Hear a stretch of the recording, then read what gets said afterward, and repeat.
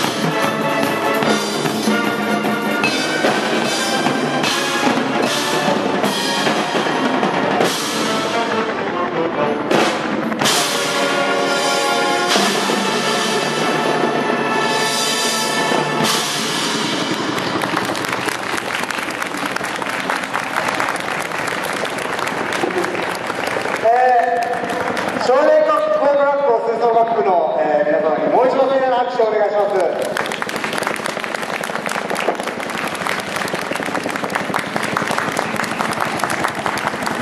どうもありがとうございました。